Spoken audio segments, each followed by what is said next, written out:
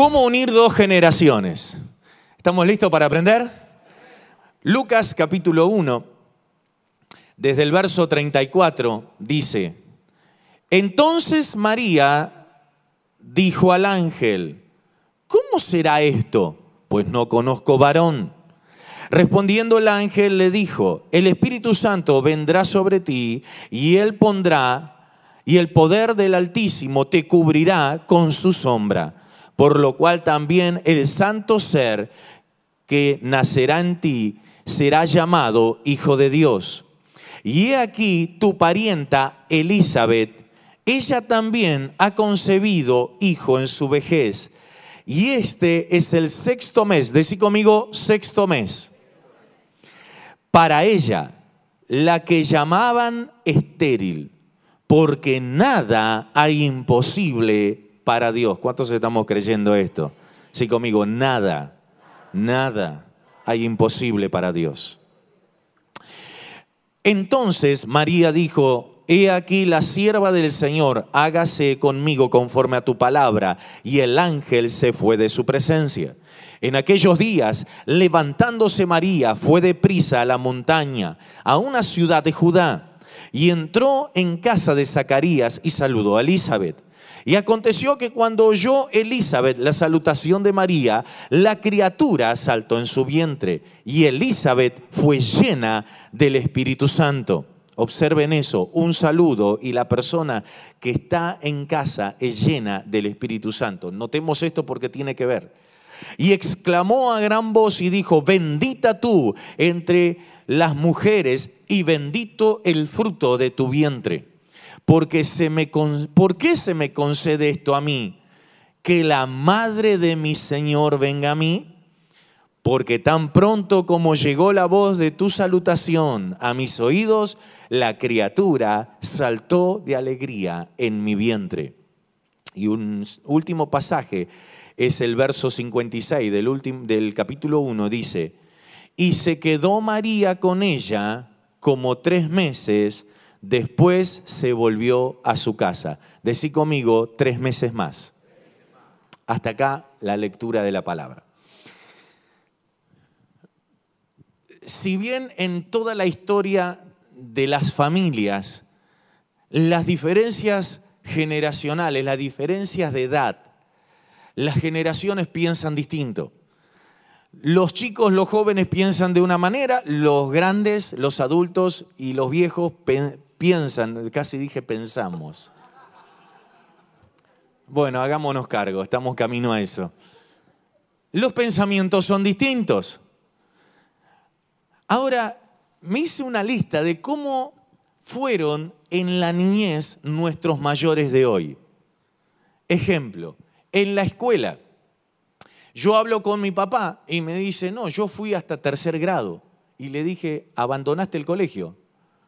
Me dice, no, no había más. le digo, pero ¿cómo tercer grado? Sí. ¿Y en tercer grado aprendiste? Sí. ¿Y por qué no seguiste el secundario? Porque no había.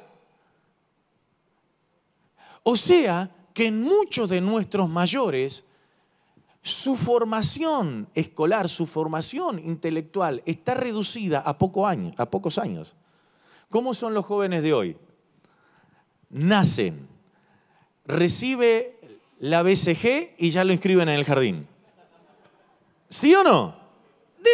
hay, hay, jardines maternales. O sea, léase, tengo que trabajar, no tengo con quién dejarlo, lo enchufo en la escuela. Ahora me van a escribir alguna maestra. Pero es así. Tenemos jardín, salita. Nosotros ya, nuestro hijo fueron a salita de tres. Pobrecito. Salita ahora, ¿cuánto hay? ¿De dos? Salita de dos. Entonces, hoy vos no solamente tenés salita de dos, tenés primario, tenés el secundario, tenés la universidad, tenés posgrado. Ahora ya, antes era tres años, ahora son 50 años. Y si querés estudiar toda la vida, podés. ¿Me están siguiendo? Miren, miren las diferencias generacionales. Y estuvimos enseñando estos días que cada vez que el cielo se abre, no se abre para condena, se abre para buenas noticias. Y hoy declaro sobre tu vida que cielos abiertos están sobre tu vida, sobre tu casa, sobre tu familia. Y no es para condena, no es para reproche, es porque vienen nuevas y grandes noticias que cambiarán para siempre la historia de tu apellido. ¿Cuántos dicen amén en esta mañana? Amén. Y, y entonces dice que ya estaban avanzados en edad eran literalmente viejos. ¿Por qué? Porque Zacarías había terminado su trabajo en el templo. O sea, se jubiló, tenía más de 80 años. Y la, mujer estaba a la par, eran, eran compañeros. ¿Me entienden o...? Y la señora anciana ahora está embarazada. Y dice la Biblia que Elizabeth no se dio a conocer, no salió. No va a ser cosa que alguien con sus palabras entristezca la bendición que estaba en curso. Hay cosas que Dios te va a bendecir acá, pero que vos tenés que No va a ser, porque la bendición va a, venir igual. Pero ¿cómo vas a estar vos para disfrutarlo? Cierro paréntesis y continúo. Llevaba Elizabeth seis meses de embarazo. Y hay otra situación. Hay una jovencita llamada María que estaba de novio con un chico llamado José. Porque nosotros acá nos imaginamos María y José, que, que eran 27, eh, 30 años. No, eran jovencitos, no, no habían llegado a la edad de los 20 años todavía. Y de pronto está María, los cielos se abren, el ángel desciende y trae una noticia. Vas a ser mamá. Dios te ha elegido, el Espíritu Santo te cubrirá. ¿Y sabe lo que hizo María? Zacarías dice, ah, sí, no me diga, ¿cómo va a ser? Y María dijo, sea hecha tu voluntad. En mi concepto de las cosas, no lo entiendo, pero confío en que lo vas a hacer. Miren la diferencia. El mayor dice, ah, sí, Angelito Gabriel, ¿sabe la cantidad de años que tengo vivido, papá. He visto bajar ángeles, arcángeles, de todo. La experiencia de vida de Zacarías cuestionó el milagro que Dios traía sobre su familia. Pero el no saber no quita que no seas bendecido si sabes direccionarlo. Dios no pide que sepas todo en esta mañana para que haya un milagro sobre tu vida. Lo único que pide que si hay un milagro y una bendición que no entendés por qué viene sobre tu vida, que confíes y le digas, haz como tú quieras, haz como tú quieras, haz como tú quieras. Y dice que María concibió. Escuchen, y ahí comienza el relato. Y dice que cuando pasa eso, pasaron apenas unos días, ni siquiera una semana, entre que la visitó el ángel y que María dice que de pronto se puso de pie, recién había concebido, y la fue a visitar a Elizabeth a su pariente. Ahora uno dice, bueno, se tomó, qué sé yo, salió eh, de escalada a Banfield o de escalada a Temperley, se tomó el tren, se tomó el bondi. No, no. Fue de Nazaret a las colinas de Judea. ¿Sabés qué distancia hay? 80 kilómetros. Dos generaciones separadas por una distancia. Elizabeth estaba a 80 kilómetros y la condición de vida de Elizabeth no le permitía hacer esto, pero la condición de, de María sí.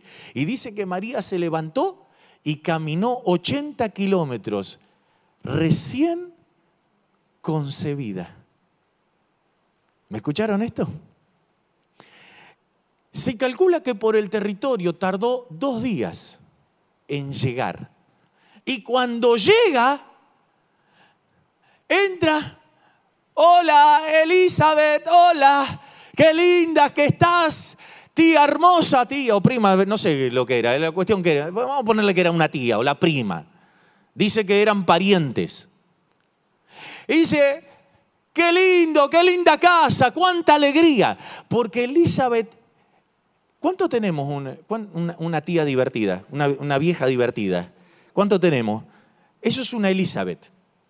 Dice que Elizabeth era de buen ánimo siempre. Y había llegado a la ancianidad, era anciana y era divertida. Y la llamaban, leímos, la llamaban la estéril.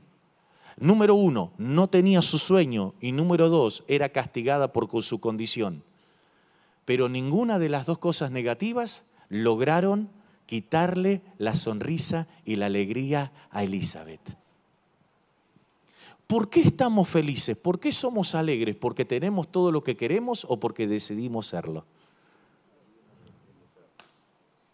Cuando nosotros decidimos ser felices, lo que hay, Señor, gracias. Lo que no tengo, Señor, gracias. Sigo esperando y confiando, pero nada de lo natural puede condicionar mi alegría que sos vos. ¿Me están entendiendo? Y dice que cuando entra María, dice, ¿dónde estás? Porque había alegría en esa casa, porque una casa sonríe. ¿Sabías eso? A mí me gusta el tema de los autos. Y alguien me preguntó y dice, ¿cómo compras autos usados y que estén buenos? Y porque veo, si sonríe el auto me gusta. ¿Y cómo rayos te va a sonreír un auto? Claro, porque de acuerdo al dueño así es el auto. No importa la edad del auto. Yo he comprado cosas que casi, casi han orado por mí por lo que compraba. Pero los restauraba, porque no me alcanzaba para más, no te creas, porque por otra cosa. Y para mí era, era, pero qué, le ponían empeño y lo lavaba, aunque estaba, estaba todo podrido el auto, pero yo lo lavaba. ¿Por qué? porque le ponía mi pasión y un día junté plata y le cambié un guardabarro y otro día junté plata y le cambié un, le, hice un parche al tapizado. Y con el correr de los tiempos ese auto quedó lindo y se vendió rápido. ¿Por qué? Porque de acuerdo, vos podés tener un cero kilómetro y entrar y que haya papas creciendo. ¿Me están entendiendo? Así son las casas.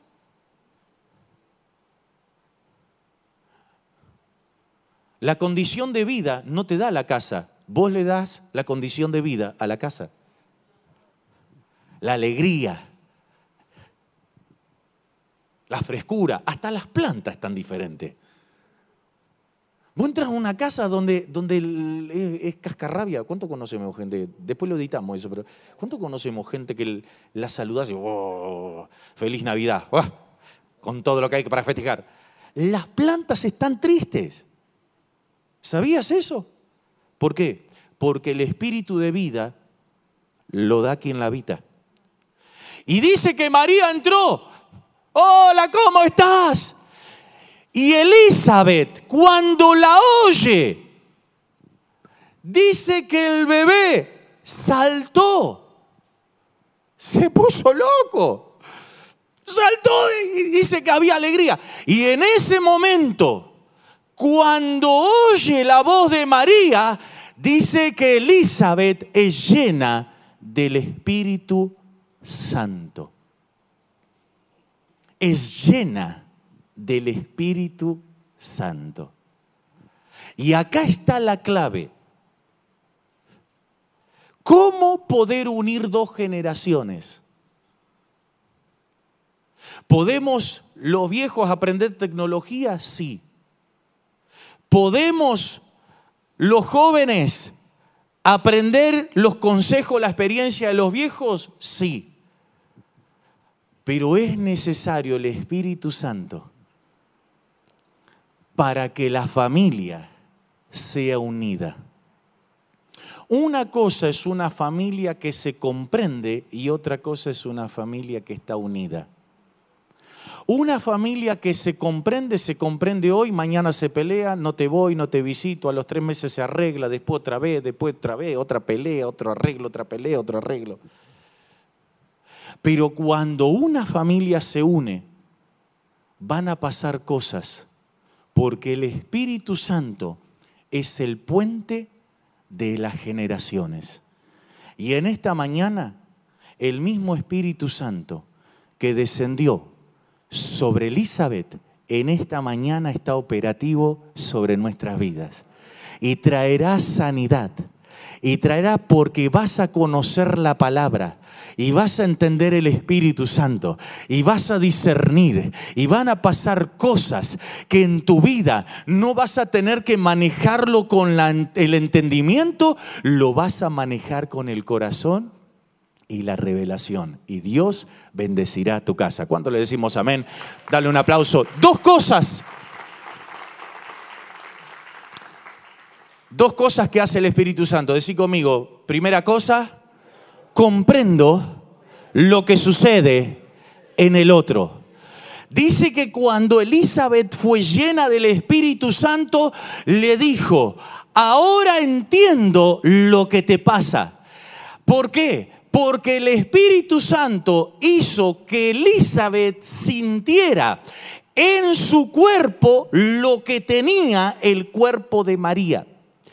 Las generaciones piensan, ¿qué pasa? Actualmente, ¿cómo hacemos? Si vos supieras, en mi tiempo no era así, las cosas no se hacen así. Y el pibe te dice, eh, pero vos sos un viejo, un viejo verde, no entendés nada. Y ahí empiezan las peleas. ¿Por qué? Porque el joven quiere cosas, quiere descubrir, quiere avanzar. Y el viejo ya las experimentó, ya se pegó varios tropezones, ya, ya le pasaron cosas, ¿sí o no? Y ahí hay un choque generacional. Y aparentemente esa diferencia generacional, después empieza una discusión y empieza esto, y empieza, ¿sabe por qué se pelea la gente? Por pavadas, por estupideces. Pero María dice que entró y María sabía lo cómo era la casa y sintió la alegría natural.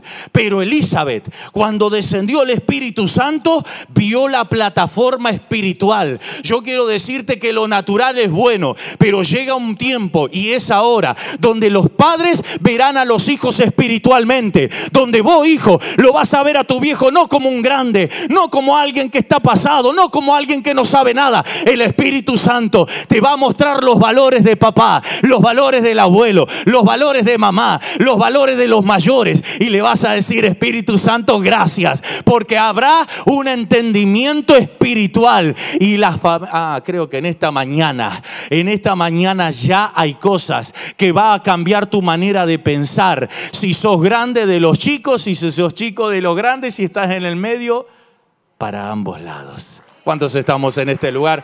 Decimos gracias, Señor. Los otros días me dice, pastor, yo ya no entiendo más a mis hijos. Les di todo, ¿qué más quieren? ahora lo que va a suceder es que el Espíritu Santo te va a abrir la realidad espiritual a lo que Dios quiere hacer. Nadie le dijo a Elizabeth, nadie, nadie le dijo a Elizabeth, que María entraba, pero dice que Elizabeth al oír la voz, vos vas a oír a tus viejos o vas a oír a tus hijos y en el tono de la voz el Espíritu Santo te va a revelar cómo está esa persona y te va a poner palabras. Si vino mal, te va a poner palabras de alegría. Si vino con preguntas, te pondrá las respuestas. Si vino con inquietudes, te pondrá palabras de paz. Pero prepárate, porque todavía nadie te va a contar nada, pero el Espíritu Santo te va a preparar para que esa familia comience a tener... Amén. Gracias, Señor. Segunda cosa, Decí conmigo, con el Espíritu Santo veo a la gente quienes son en Dios. Pastor, mi viejo no entiende nada. Ah, ¿no? Lo conté. ¿Dónde está Jorge? Estaba por acá Jorge recién. Dice que durante más de 50 años tiene el papá que tiene cerca de 70 años y durante más de 50 años tenía el problema del alcoholismo. Jorge es un chico que hace un. ¿Un año está con nosotros? Menos, meses. Y mira, mira lo que es. En meses parece que hace hace más de un año que está. Porque ha abrazado la palabra, ha abrazado la verdad, y dice, lo, primero que me volvió loco, dice, pastor, renuncié, yo era barra brava de River, renuncié a la credencial, me dicen que estoy loco, pero yo estoy loco por Cristo. Y los otros días me dice, pastor, me tomé de una palabra y quiero decirle algo. Ya van tres asados que mi viejo toma levité.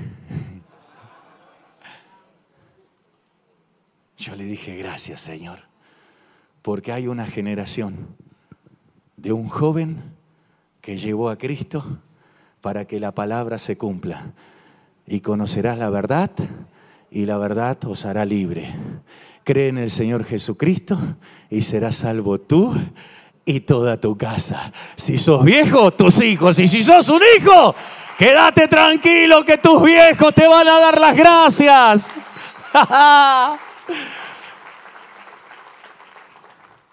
Y me dijo, me escribió anoche. Me dice, pastor, lo invité a la iglesia y me va a tener que aguantar. Si yo a mi viejo lo tengo en la iglesia, salgo y bailo con ustedes en la plataforma.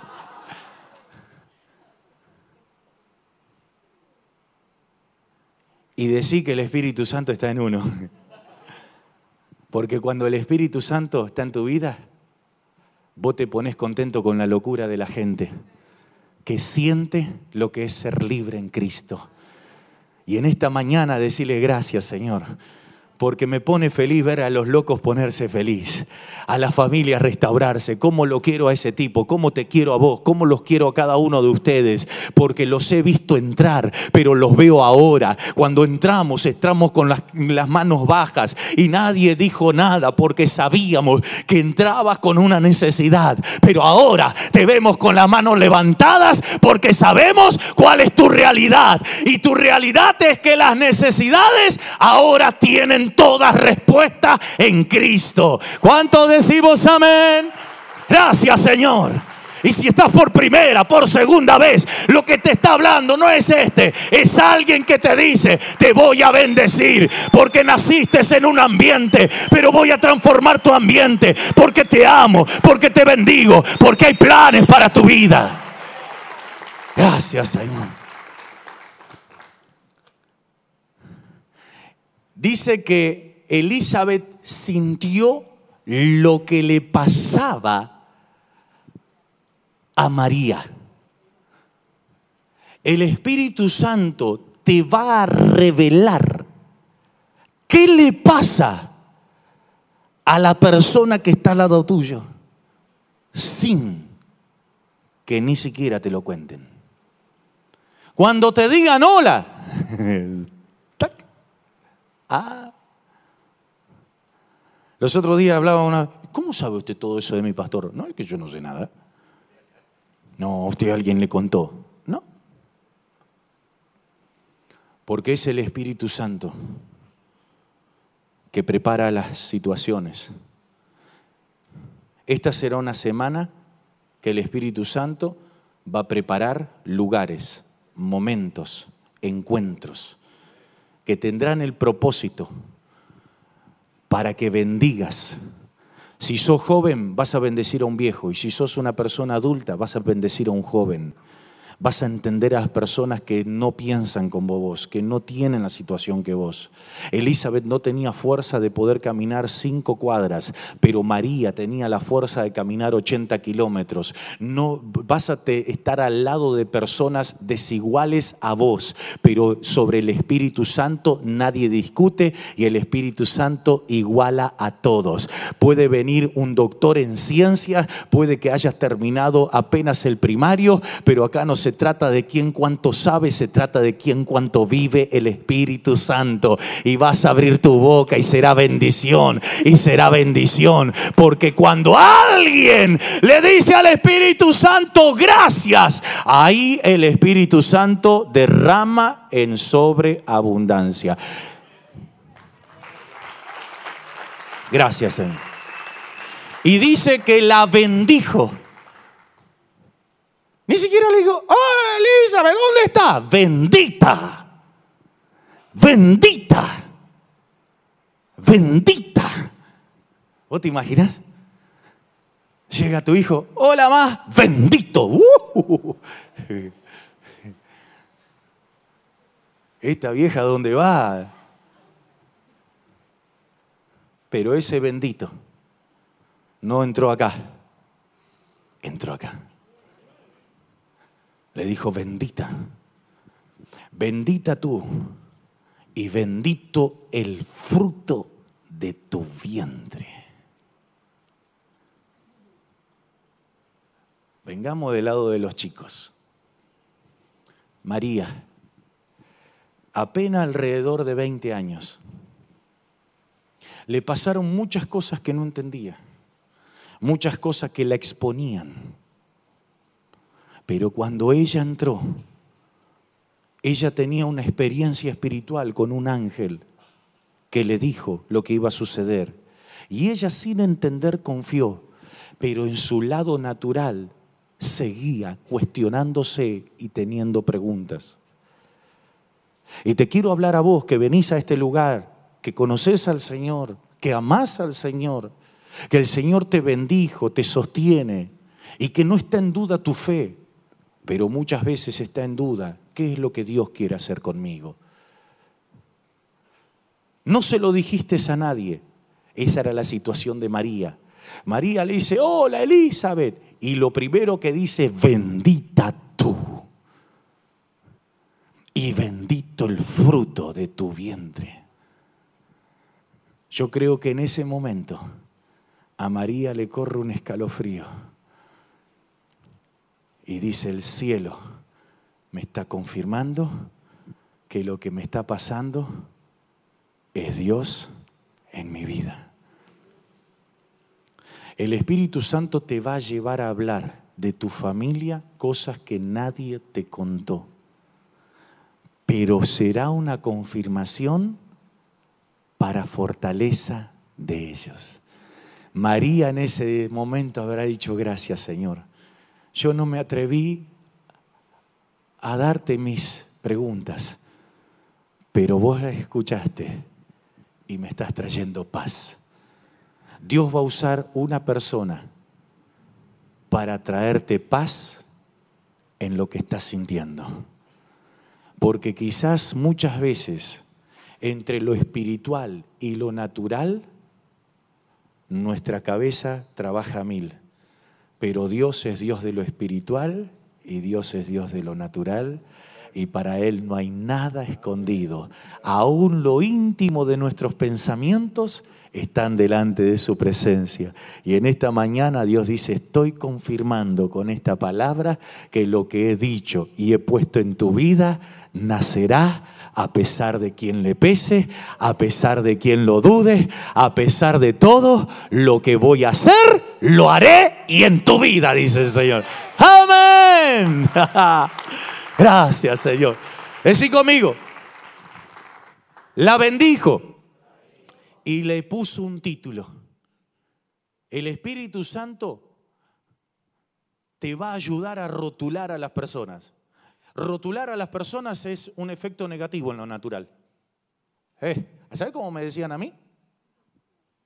Dumbo. De ahí nunca más me pude usar el pelo corto. El orejón, el narigón, el chueco. ¿Cuánto, ¿Cuántos eh, conocemos lo que son los rótulos? Hay rótulos que lastiman, hay rótulos que hieren. Javes era un rótulo, pero lo pusieron por un nombre. ¿Y sabe lo que hizo el Espíritu Santo? Puso rótulos de reino. Porque si lo natural tiene rótulos, el cielo también. Y le dijo Elizabeth, ¿quién soy yo para que me visite? Y ahí va el rótulo, la madre de mi Señor. ¿Y quién rayo le dijo a Elizabeth número uno que estaba embarazada? ¿Quién le dijo número dos de quién?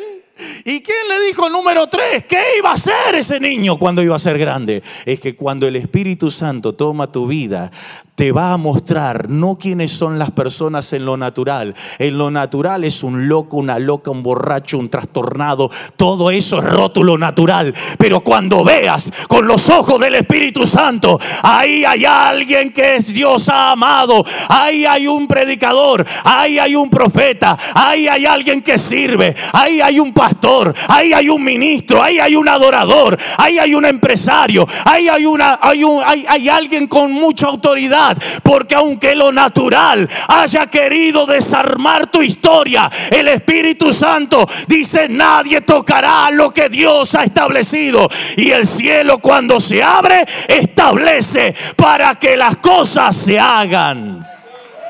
Vas a hablar sobre tus hijos lo que ha visto Dios de ellos. Vas a hablar sobre tus viejos lo que Dios ha visto de ellos no lo que la gente ve, no lo que la gente quiere, lo que el Espíritu Santo ha diseñado, eso vendrá y pondrá sobre tu vida. Ahora no me digas que no hay más cosas positivas en la unión entre dos generaciones.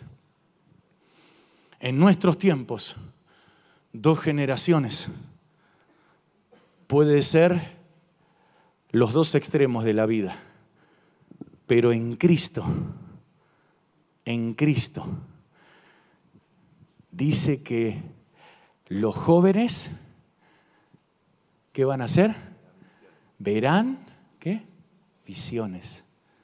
¿Y los ancianos? Soñarán sueños. Visión y sueño. Dos elementos necesarios para que una familia crezca. En tu familia son todos necesarios. Los jóvenes, que a veces se mandan más de la una, y los viejos, que aparentemente no entienden nada. Eso es lo natural. Pero cuando tu familia está en Cristo, los viejos son soñadores. Hijo, nieto, Hoy tenés 14 años y haces cada desastre. Pero yo te estoy viendo en los ojos de Dios. Te estoy viendo levantándote por sobre todos. Te estoy viendo que vas a traer a nuestro apellido algo que nuestro apellido nunca tuvo. Ah, este, el abuelo tuvo tercer grado, pero vos vas a estar en Naciones Unidas predicándole al mundo que Jesucristo es el Señor. ¡Uah! No me diga que no cambia eso. No me diga que no cambia eso. Y quizás tengas que ir a visitar este fin de año, hoy Navidad, a tu abuelo. Y tu abuelo nunca pisó una iglesia. Pero le digas, bendito abuelo. Porque quizás no entendés en lo natural lo que yo estoy viviendo. Pero un día fuiste el eslabón para que yo pudiera nacer. Y porque yo nací y hoy estoy en Cristo, quizás te toque partir antes que yo. Pero la Biblia dice, que mi casa será bendecida y salva. nos vemos en la eternidad. Qué lindo que es eso. Esta mañana estaba, justo yo salí, estaba ayudando algo a, mi papá y estábamos tomando unos mates y él le dijo, aprovechó a decirle a ella porque yo salí al patio para que no escuche y le dijo, quizás es la última Navidad. y yo después le dije, viejo, eso mismo me lo dijiste en el 2005 y duras todavía 11 años. ¿Sabes qué? En Cristo no hay malas frases ni tristes. Aún todo lo que hables, que en lo natural parece una carga y una tristeza, cuando Dios lo procesa, es una bendición y una alegría. Por eso en esta mañana, qué lindo que podamos estar recibiendo esta palabra para bendecir nuestros corazones. Para que en esta mañana le presentes a Dios todas las cosas y le digas, Señor, tengo diferencias con mis hijos, tengo diferencias con mis nietos, tenemos diferencias, tenemos aún diferencias entre nosotros, pero yo quiero que puedas intervenir. Estoy poniendo la mejor, le pongo la mejor onda, le pongo lo mejor esfuerzo, pero aún así todo lo que hace mi hijo me duele. Yo me estoy guardando, estoy queriendo ayudarlo. Pero Señor, te pido que intervengas. Y lo que va a suceder es que el Espíritu Santo te va a visitar y va primero a poner paz. Porque aunque hayan pasado algunos años, los que están y los que vienen son extraordinarios y en Dios. En esta mañana estamos acá para consagrar nuestra familia. Quizás tu hijo no está en este lugar, quizás tu esposo, tu esposa no está en este lugar, pero sí está en las manos de Dios. Y los vas a ver con los ojos de la presencia de Dios. Los vas a ver no como la ve la gente, lo vas a ver conforme a lo que Dios ha diseñado para sus vidas. ¿Cuántos decimos amén? Damos un aplauso a Dios. Pónete de pie. Gracias, Señor.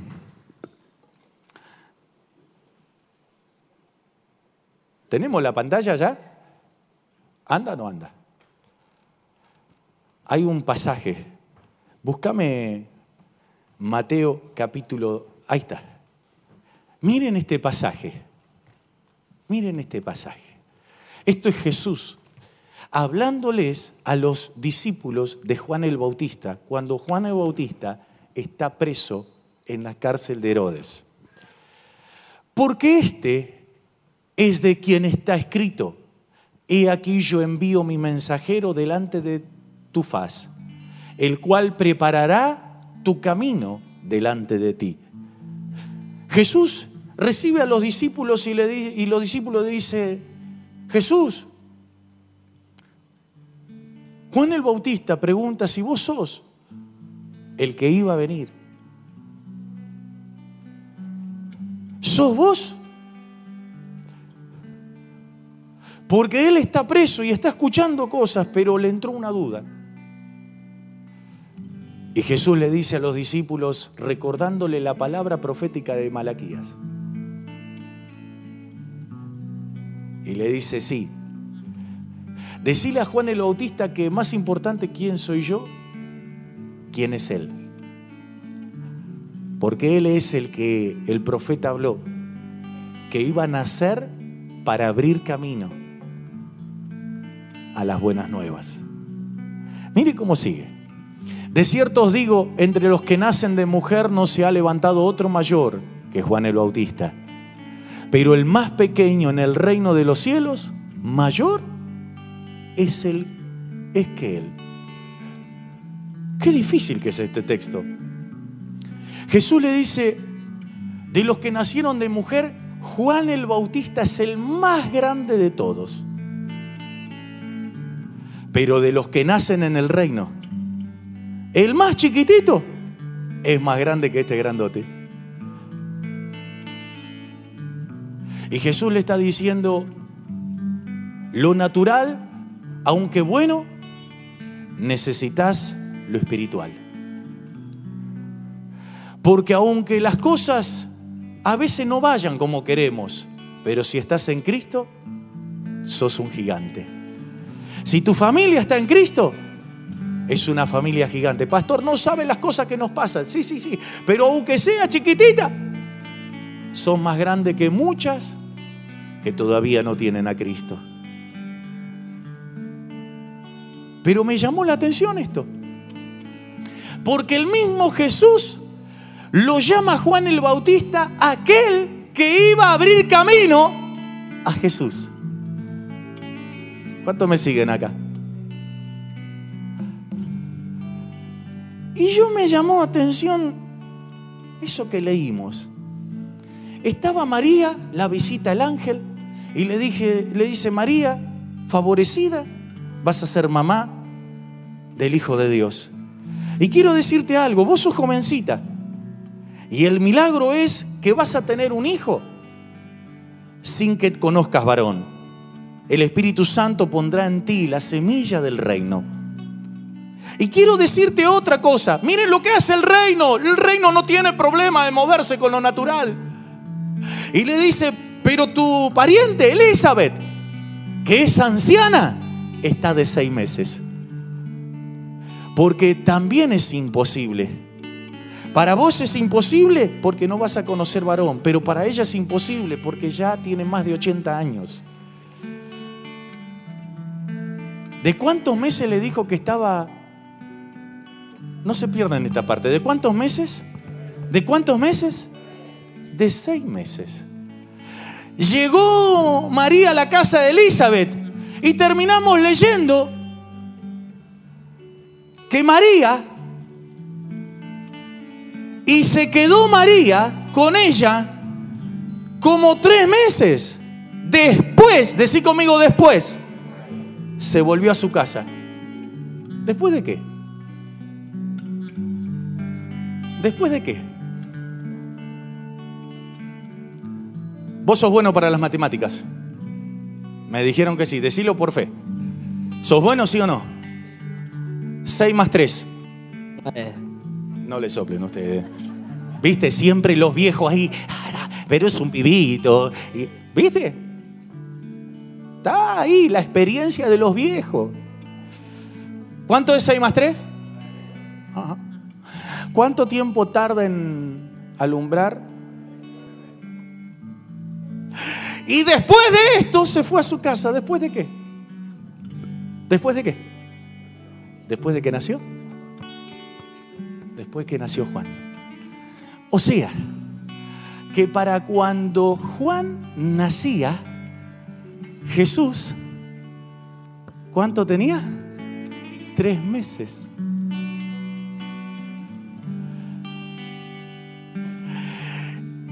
Jesús le dio la bienvenida a la vida a aquel que iba a abrir camino para su ministerio. Mm.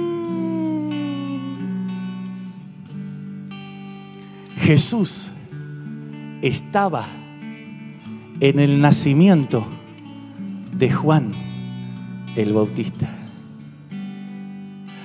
Aquel que iba a hablar de Jesús que todavía no había nacido. Y en esta mañana Jesús te dice, ¿tenés ganas de abrirme camino? Hoy quiero que nazcas. Hoy vine a tu nacimiento, porque vos sos el que vas a abrir camino a lo que voy a hacer en tu familia. Hoy voy a abrir camino. Ah, hoy vas a nacer en el Espíritu. Ya naciste en lo natural pero hoy vengo a tu nacimiento espiritual. Vengo a tu encuentro con el Espíritu Santo. Y en esta mañana de domingo 25 de diciembre estoy asistiendo a tu nacimiento porque vos vas a hablar de mí. Vos vas a hablar a tus hijos. Vos vas a hablar a tus viejos. Vos vas a hablar a tu familia. Y yo haré, y yo haré, y yo haré. Aleluya. Dos días camino. En dos días podía volverse otra vez. Pero los planes eran que tres meses tenía que esperar.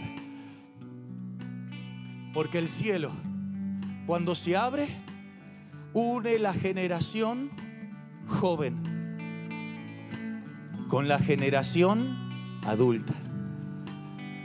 En el cielo, el cielo cuenta con todos, con todos. Tu familia, todos son familia. Los grandes y los chicos, los que piensan igual y los que piensan diferente. Lo que aparentemente en lo natural es imposible que se entiendan. Déjalo que el Espíritu Santo va a hacer algo. Va a hacer algo. Y en esta mañana te voy a pedir que puedas cerrar tus ojos y quiero que podamos orar en los próximos minutos. Que le muestres y le enseñes a, a Dios tu familia. Tu familia. Que si tenés papás, le digas, Señor, tengo papá, tengo mamá, tengo hijos, tengo un hermano, me pasan cosas, tenemos diferencias, tenemos discusiones, pero a la luz de lo que estoy oyendo, necesito tu presencia.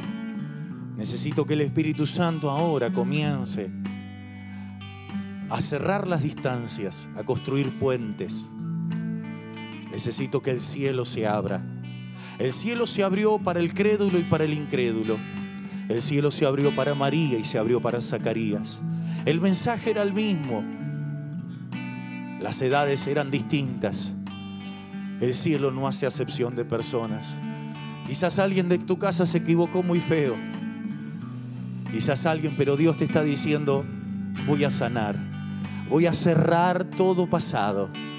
Voy a arrancar toda raíz, todo pensamiento, toda historia, porque ahora pongo revelación, pongo palabras nuevas, Pongo bendición en tu boca. Pongo pensamientos de paz en tu corazón. Pongo sueños. Pongo un futuro bendecido por delante. Pongo rótulos de bendición. Dirás que tus hijos son bendecidos. Que tus hijas son únicas. Que son prósperos. Hablarás de ellos con propiedad y con autoridad. Ah, no es tu historia la que va a forjar tus palabras. Es el cielo que pone nuevo, nuevo todas las cosas. Quizás naciste en un lugar con poca cultura, con pocos recursos, con poco estudio. Pasaron los años, pero llegaste hasta aquí. Y fiel es Dios, hasta aquí nos ayudó el Señor. Hasta aquí, hasta una mañana de domingo de Navidad del 2016, para decirte, visito tu casa, visito tu ambiente, visito tu corazón. Pongo mi dedo y transformo toda tristeza en alegría. Deshago todo plan del enemigo porque hay un plan del cielo, un plan eterno.